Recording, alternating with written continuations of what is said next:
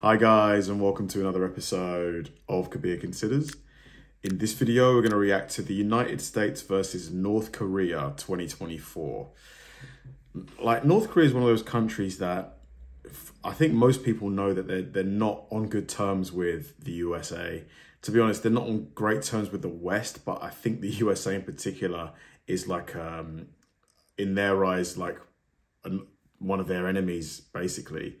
Um, but we don't really know much about North Korea. I think they've been trying to, they they either have a nuclear weapon or they've been trying to get one for a long time or, or they've been testing one. I'm not really sure. I don't think like realistically, if they were to like challenge the US, you know, into some kind of war or conflict, I don't think they would win. Obviously, I'm not an expert though. I've never served in, in the military, but you know, I think it's well known the US military is like the number one military in the world in terms of, uh, you know, equipment, weapons, things like that. But you never really know. Like, you just don't know what these countries, unless you're, you've got like, um, you know, a mole in there who's telling you exactly what they have. You can't really say for sure if you would defeat someone or a country in a battle. So yeah, this video should be quite a, an interesting uh, thought exercise just to see what would happen, how the two sides stack against each other. Supreme Leader Kim Jong-un has recently shaken up his military cabinet, while warning that the military must be prepared for imminent war. What does Kim know that we don't, why, or is this more bluster? And if war were to break out, just how effective would the North's military be against the South-U.S. alliance? Military shakeups are nothing new in the highest echelons of power in the North Korean military. In fact, Kim Jong-un regularly shuffles around senior personnel, sometimes for perceived failures, but most of the time to keep any one individual from amassing too much power. After all, as a dictator, Kim Jong's greatest threats come from within. However, it was a chilling warning that the North Korean military should be prepared for imminent war that made I love how they've made him like quite skinny here when in reality he really isn't. take notice of this shakeup. The nation spends around $4 billion on its military every year, or about 25% of the country's entire GDP. That's about billion. what the U.S. will spend on a single military program given its vast $800 billion defense budget. Its weapons are largely No antiquated, way, training is considered to be poor to non-existent, and its logistics are believed to be even worse than Russia's, which is really saying something. Yet the punch the North Korean military has might just surprise you.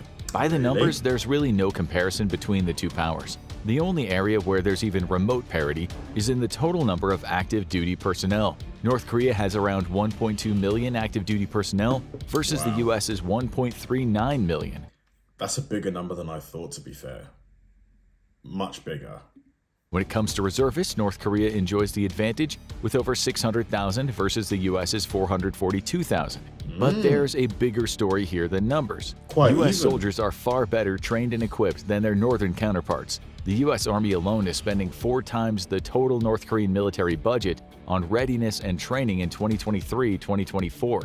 In total, the U.S. Army, Marines, Air Force, Navy, and Space Force are spending over three times the entire GDP of North Korea on training and readiness, What's the point of the Space Force though? Because we're not really having battles in space yet. So, like, what, do- what do they do? Is it surveillance? fiscal years of 23 and 24. This training includes individual and unit training, as well as large-scale combined arms exercises with partner services and foreign allies. The U.S. trains how it fights, adopting the maxim that it's better to sweat in training than bleed in war, and the results are reflected in the one-sided loss ratios experienced by the U.S. military. North Korean training is largely conducted at the unit level, with each unit responsible for individual proficiency. With very, very few exceptions over the last decades, a large-scale training exercise involving large formations or combined arms operations are non-existent. Further, a lack of budget plagues North Korean units the way it does Russian units. For Money soldiers talks, not in special units, talks. typically those in the capital or with ceremonial purposes, training can be altogether non-existent. Hunger is also a constant concern, with two or three potatoes per meal or raw corn kernels or corn rice making up the vast majority of meals per northern defectors. This oh directly results in what's been termed the shrinking North Korean army, where northern soldiers on average are several inches shorter than their southern counterparts. Training is also typically superseded by labor-intensive tasks. So that so they don't get to eat protein, basically. That's sad. That's that's kind of sad, isn't it? Really. Soldiers are used for general labor, assisting farmers in rice paddies, or in constructing roads and other infrastructure. Corruption also eats away at the North Korean military, though not at the scale of the Russian military. Corruption tends to be localized to the top leadership, with rank-and-file soldiers being made example of for committing the same acts their commanders are guilty of, and this typically means imprisonment, beatings, or death. Malnutrition is such a significant problem in the North Korean army that soldiers are regularly sent home to recover from its effects. Once they're healthy once more, they're rounded up to complete their mandatory military service. Yikes. Defectors have claimed that sometimes soldiers simply starve to death during their service, though there the are instances of good commanders looking after their troops and keeping them healthy, preventing this from occurring. Typically, hunger is so prevalent that soldiers have a notorious reputation for stealing anything edible that they can get their hands I mean, I have to think that most North Koreans deep down aren't happy living like this. Obviously, I can't speak for them, but you're starving. All the while, you're under you're you're living under this dictator who you know hasn't improved your quality of life. Why don't they overthrow him?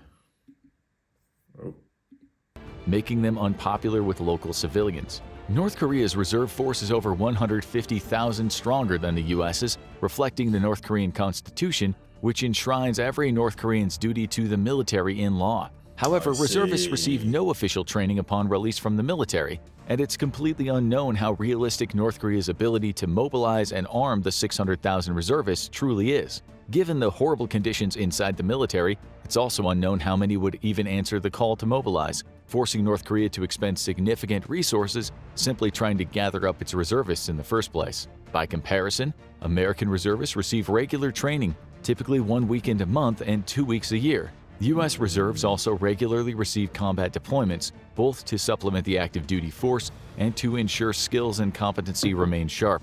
The U.S. Reserve Program is a well oiled machine. Com- I mean, right now, this is looking like a landslide victory for the USA. Unless in the video, which I suspect there's going to be a trump card, some some kind of you know nuclear weapon that North Korea has up its sleeve. Because right now, it's just it's not even a contest. It's not competitive.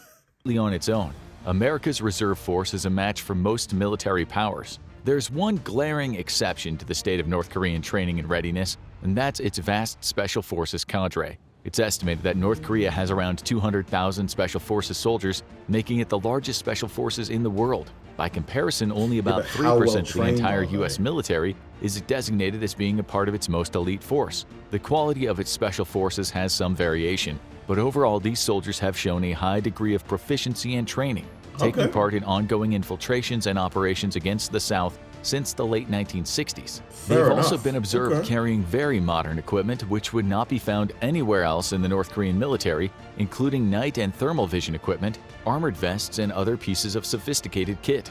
North Korean special forces are broken down into various roles. Its most elite soldiers are known as Lightning Commandos, and they're meant to directly counter American Navy SEALs and South Korean Navy Special Warfare Flotilla operatives. These are the elite of the elite and are primarily tasked with foiling American and South Korean Special Forces operations against the North Korean military and the civilian leadership itself. Airborne commandos utilize Antonov AN-2 planes with the task of infiltrating the South in case of hostilities. While the Antonov AN-2 is antiquated, it has the advantage of being slightly more difficult to track on radar than a modern plane due to its material construction, and the plane excels on taking off and landing on very rough runways, perfect for a quick infiltration into the South. I need to watch a video about like the history of North Korea, like why they split. What like I'm guessing there was one Korea, right, at one point, and then they split into the North and the South. Why why did the split happen? While all North Korean special forces are designed to create a second front in the enemy's rear, the airborne component is specifically suited to that task, quickly infiltrating past the front line to cause general chaos in the rear areas. The light infantry component of North Korean special forces is unique for its lack of any heavy equipment whatsoever. True to its role, this force is meant to infiltrate into the enemy's rear through concealed movement and then target lines of communication and high-value targets, such as air defense equipment, command and control nodes, etc. To accomplish this, they can carry only light arms and anti-tank weapons. It's even believed that they don't carry any actual body armor, instead Oh wearing Kevlar vests akin to the second chance vests many police officers around the world utilize. Maritime. SOF are designed to infiltrate South Korea's coastline and launch attacks against vulnerable rear area military and civilian targets. It's believed that North Korea can deliver as many as 7,000 commandos to South Korea beaches through the use of a vast fleet of midget submarines and 24 Romeo-class diesel-electric submarines specifically designed to deliver commandos onto enemy beaches. The rugged coastline of South Korea makes it very difficult to counter these submarines, and it's believed that in just one lift, the North could deliver 5,000 of these operators into the South. Reconnaissance brigades, also known as sniper brigades, are the type you're likely to be the most familiar with. These elite operators are tasked with gathering intelligence behind enemy lines, but are also trained in direct action missions. They're meant to destroy or seize strategic targets from South Korean or American forces, and it's these operators who carry out assassination missions in the region. North Korea's Air Force numbers at just shy of a thousand aircraft, the vast majority of which are. I just find it really funny that North Korea can afford a thousand aircraft. Obviously, they've not got the best aircraft, but still they've got a thousand aircraft but its people are living on like rice and corn, you know, they're starving and stuff like that. Just doesn't really seem like a good use of uh, funds, like because you can bet that you know Kim Jong Un is he he's not eating rice and corn. He's probably eating you know caviar and like lobster every day. Hopelessly antiquated. The nation still operates the MiG 17, MiG 19, MiG 21, and MiG 23 fighters, with a few MiG-29s. They may also have a small number of MiG-25s, though this is hotly debated. The nation's most numerous fighter is the MiG-21, an obsolete yet still capable platform. However, the U.S. Defense Intelligence Agency concluded that the North Korean Air Force could not prevail against U.S. forces due to, quote, overwhelming advantages in power projection, yeah, like strategic air superiority, and precision-guided standoff strike area. capability the USDIA also stated that the North would have a significant difficulty operating against the South's air defense capability. North Korea does have one of the densest air defense systems in the world, given America's overwhelming use of air power. However, the bulk of its air defenses are made up of Cold War-era SA-5 Gammon and domestically produced Hwanghae 5 SAMs. During Desert Storm, Iraq had one of the best air defense systems in the world, and it was systematically dismantled by Allied air power in conflict against America, North Korea's even older and less capable air defense network would be no easy chance. prey to Not superior. U.S. technology and tactics. The use of stealthy F-22s, F-35s, B-2s, and soon the B-21 would further reduce the effectiveness of North Korea's defenses. The North's army operates 6,645 tanks versus America's 5,500, minus 31 or so recently sent off to Ukraine. According to South Korean intelligence, the North's tank fleet is primarily made up of obsolete T-34s, T-54s, T-55s, T-62s, and Speaking of the whole Ukraine thing, isn't it interesting how, you know, the media, at least in England, have basically stopped talking about it? Yeah, I, I, I don't know what's happening there. I don't know who is winning, if you can, you know, win a conflict like that. I guess unless you're really following it, you know, through maybe Telegram channels and or, or you know or whatever. I just I don't know how people. What's going on? I don't even know. Type 59s. There's also considerable doubt as to the readiness of the North's armored forces. Given the significant age of most of its inventory, it's doubtful many of them are even in an operational state today. Domestically made Chonma-ho tanks are believed to be a copy of the Soviet T-62, with similar capabilities, while the Pokpongho, its most recent addition, appears to be an attempt to replicate the Soviet T-72. North Korea's tank forces are not seen as a credible threat by either the US or the South, with the bulk of its forces, even if operational, being easy prey even to ROK or US infantry fighting vehicles. North Korea knows it has never been able to match the US and the South militarily, though, which is why it's invested in asymmetrical threats like cyber warfare, special forces, and nuclear weapons to Right. deter or Here win a potential war card. before the US can fully enter the conflict. Where North Korea does shine, and partly as a reflection of this strategy, is in its artillery force. Previously, we've called artillery heavy armies insurance for dumb militaries when comparing the composition of the Russian military versus NATO ones. The adage holds true the Russian military is absolutely awful at its job, but with truly overwhelming amounts of artillery, Russia has managed to level the playing field against a military a fraction of the size of its own. Despite the adoption of precision-guided munitions and a few other innovations, artillery largely remains unchanged since World War II. It's all about shooting high explosives from really far away as fast as possible. Thus, artillery can be the great equalizer for a dumb military. Thus, North Korea employs nearly 13,000 pieces of artillery Wow. versus the US's 4,400. Almost Despite being the most powerful military in the world, the US operates a shockingly small artillery force, and that's because of its doctrine of utilizing precision air power for the role. Yet the staggering I guess yeah, it makes sense because if uh, you know artillery like sh- shelling, uh, it's not very accurate, is it? Because these things aren't laser guided. Whereas you know if you can fly a plane above it with a precision, you know, like laser guided missile that's almost guaranteed to hit the target, it's better, isn't it? Really, it's more effective.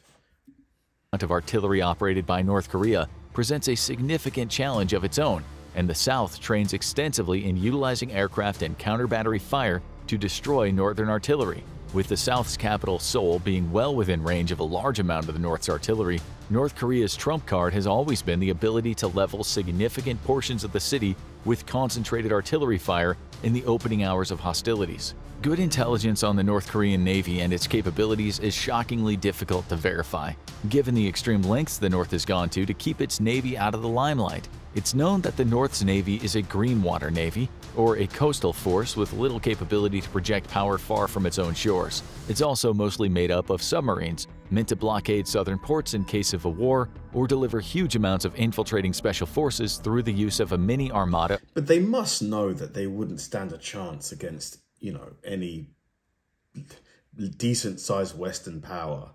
Like, they must know that. Like, so all of this stuff that they're doing, that these, these, uh, you know, antiquated aircraft and, and tanks, like, they must know that they- would get destroyed. So what's the point of it? I guess they kind of have to have a military. So, you know, maybe it's for appearances, but do they really cons- are they actually really gonna are they thinking they'll ever have to actually use them in a war or maybe they're delusional maybe they genuinely think that they could win just through willpower like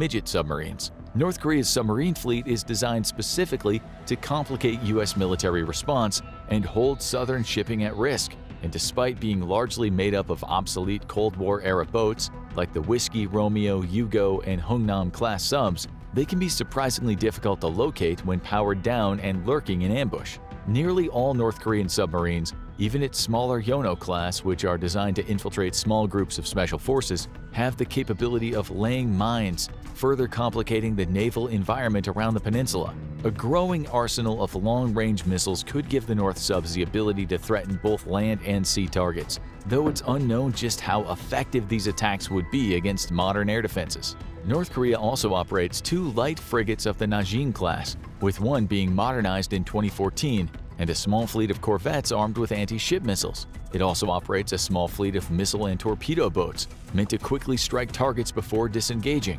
The most recent acquisition is the Nongo class stealth missile boat, a catamaran-style design with Where some stealthy buy their stuff characteristics to reduce its radar Russia, signature. probably, right? Against an American fleet of 484 ships, including 11 supercarriers, 9 amphibious assault carriers, 68 submarines, 92 destroyers, and 22 corvettes, the North's Navy has no chance. But it wasn't designed to win a stand-up fight. Rather, the North's main focus is to inflict a high cost on any responding American naval forces or on those of the South itself. Just how effective it would be at doing this is in serious doubt though, given the US's vast ISR capabilities and long-range targeting.